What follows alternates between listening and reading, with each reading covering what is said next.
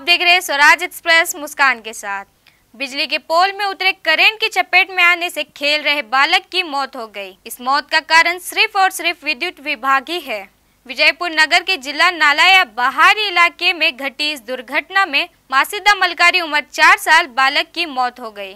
अपने पिता के साथ नालाया पर पहुँचा ये बच्चा। जब उसके पिता पानी पीने के लिए पानी की टंकी की तरफ़ चले गए तो खेल रहे बालक को पास ही में रही बिजली की पोल में से उतरे करंट लगने से मौत हो गई। मामला अब जलनगर के पुलिस थाने में दर्ज हुआ है। आपको बता दें कि बिजली की कई तारे विद्युत विभाग की लापरवाह कर्मचारियों की वजह से विजयपुर नगर में अपने अगले शिकार का इंतज़ार कर रहे हैं।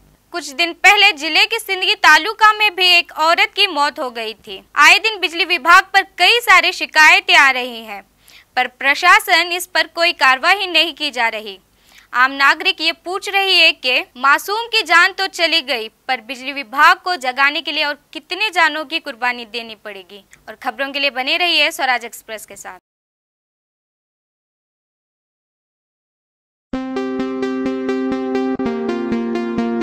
Institution was named after the great architect. In the year 1986 to 87, the Polytechnic bagged first rank to the state and repeated again in 1987 and in 1980.